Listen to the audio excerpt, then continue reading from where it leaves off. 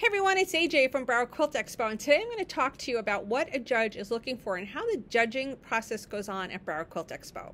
Broward Quilt Expo um, hires a national accredited and certified quilt judge, kind of like a quilt geek. It's somebody who studies for years and goes through a lot of exams and tests at their own expense to get this certification. So they know quilt history, quilt blocks, new techniques. Many of them are quilters and teachers themselves. This is not somebody who, well, let's just say they know their stuff, okay? So, what happens at BQE? Well, first of all, let's explain the difference between a juried quilt show and a judge quilt show. Quilt shows like Houston and QuiltCon, you have to be juried in, meaning there's a selection committee that's going to accept your quilt before it even gets to juries. I have the proud bragging rights is saying I have been um, not accepted to QuiltCon for every year that I've entered. One day I'll get in. But BQE, I always get in. So I always have that to fall back on. So our um, our Quilt Expo accepts all quilts that are entered unless for some reason they violate a community guideline of ours. So you enter your quilt and what happens? So, first of all, you can volunteer and be in that judging room, which is highly educational. You learn a lot. So, we get about 200 quilts. So, the judge only has about two or three minutes to review every quilt. It's quite a lot of work. I have been a scribe, meaning this form, and there's a sample of it on the website, has the categories. And as the judge is looking at the quilt, she's going through and I am checking off or putting in or writing the comments. And I'm going to give you examples of types of comments that I've heard over the years. The first thing is is we make sure that every quilt that's entered in the category is correct. Sometimes you have somebody that enters something in modern and it's really a traditional or vice versa, and we want every quilt to have the best opportunity to win something. We award first, second, and third um, prizes as well as honorable mention, and we also have specialties such as best hand quilting, best machine quilting, best in show, things like that. The one thing when you volunteer to be in that room is your lips are sealed. You cannot disclose who won something. And if you see your friend's quilt or your quilt, you can't say anything. We really want to make sure that whatever happens in the judging room stays in that judging room until awards night. Okay, the first thing is is Let's say we have a stack of the first category. The judge is going to go through each one. The volunteers are going to hold up the quilt. So the first thing that she's looking for is design and general appearance. And depending on which applies, which is visual impact, overall effect, use of color, scale, proportion, balance, focal point, layout, set, border design, and quilting motifs. Quilting motifs is an area that a lot of times can make or break your quilt. So let's just go through some of them. So the first thing is visual impact. And sometimes the quilt, the, the judge will say, for example, like or use of color. Um, uh, quilt could be enhanced with more use of um, complementary color. Or, for example, um, overall quilt was very dark and could be enhanced by use of, of a, a a complementary bright color. Meaning that you know the quilt didn't have a lot of visual interest and she's telling you that if you put in something a little brighter it would have popped it and made it more exciting. Or for example um, the a lack of contrast in your in color selection resulted in quilt pattern not being so defined. So you kind of get where we're going with how they word things that are always to so it's easier for you to understand of where you need to make improvements Okay? Quilting motif tends to be an area where a quilt motif can make or break your quilt. Sometimes you have a modern quilt and a traditional quilt motif is on it. And the comment would be quilt motif distracted from overall design. Or positive, quilt motif enhance the overall design. So really make sure, especially if you may send your quilt out to a long armer, coordinate with your long armer and listen to their advice. Don't let them do whatever they want. You know, be part of the design process.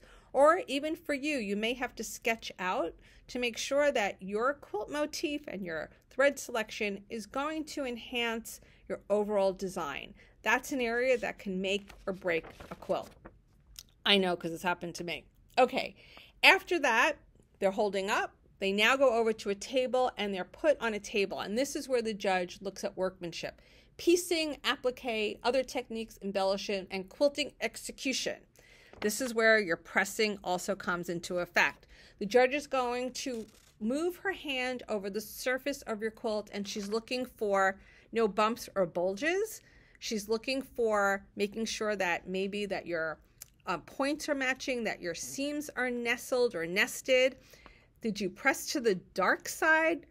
and or you should have pressed to the dark side did you press open and your stitches were too loose causing some of the batting to show through this is areas that she's looking for all of these little things that you may not think about she's also looking at quilting execution when she rubs her hands over the quilting she may scratch in an area to look at or test for quilting tension Many times the quilting tension or your bobbin thread could be too tight or too loose irregular stitch length. Sometimes you're doing it on your domestic machine and you don't have a quilt re- uh, stitch regulator, and your your stitching could be longer and shorter.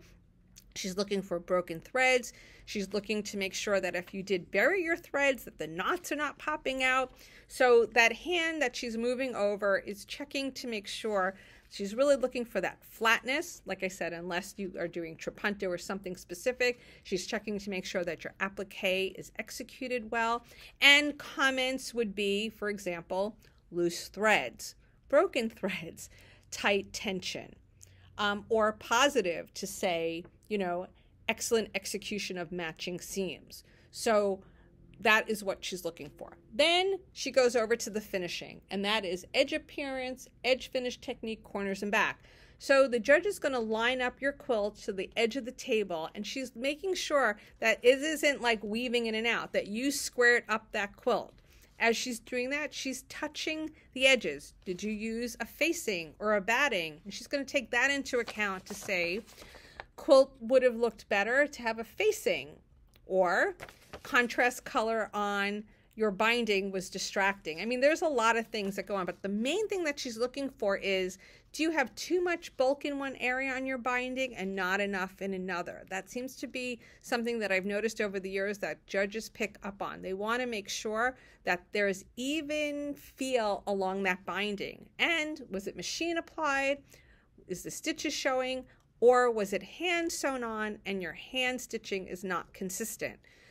Also, another thing that they look at is the corners. Are your corners nice and square and crisp? And in a traditional quilt binding, did you stitch down that opening? They all look to make sure that that little opening is stitched down. And then the backing, they're looking for same thing, no loose threads. They're making sure that the same thing on the front, that it's smooth, that there's no broken threads, hanging threads, generally that the overall appearance on the back and the, is just as good as on the front. But remember, this is all done in two to three minutes. And usually the comments usually get about four or five, and they could be, you know, outstanding use of color to, you know, consider adding in a different value for more uh, surface interest. There's a lot of comments, but they're all constructive. The judge does not sit there and go, I don't like purple, so I don't like this quilt. That does not happen. That would be unprofessional, and that's not constructive criticism. Now, as you can see, I'm sitting in my art studio as I'm not only a quilter, but I'm a painter. And in the painting world, we have what's called a crit or a critique, or a much more advanced artist is going to look over your work and give you constructive criticism so you can advance your painting practice. It's the same thing here. The judge is giving you constructive criticism because she wants to see you advance as a quilter and hopefully give you constructive criticism that she can award your quilt or your quilt at some point in time can win a ribbon or some rec- or recognition. And of course, we also she wants to award those who have done outstanding work and give them the recognition that they're due. So, when do you get this piece of paper? When you come for your quilt pickup, this will be in a sealed envelope and it's only for your eyes to see. If you care to share it with a friend, that's up to you, but nobody sees it after the scribe clicks save, prints it out, and puts it in the envelope. And we got on to the next one.